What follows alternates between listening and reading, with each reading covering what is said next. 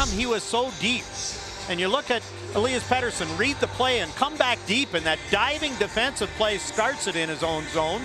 JT Miller.